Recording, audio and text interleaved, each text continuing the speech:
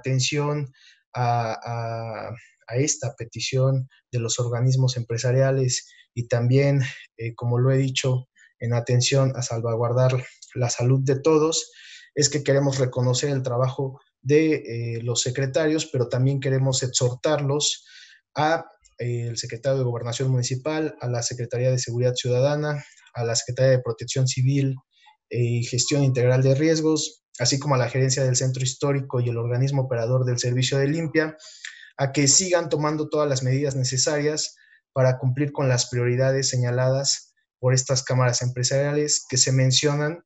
y también a que se siga manteniendo la plancha del zócalo eh, cerrada, a mantener el flujo vehicular este, de una manera adecuada, a implementar los carriles peatonales de ida y vuelta en la calle 5 de Mayo y también las brigadas de limpieza,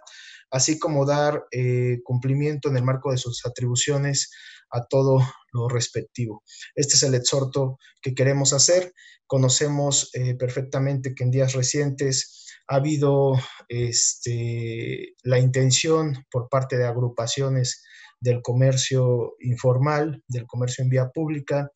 el amague también de este, ocupar las calles del centro histórico y creemos que es momento de que eh, nuestros secretarios refuercen todas las medidas pertinentes para eh, salvaguardar la salud de todos. Ese es el exhorto que estamos haciendo,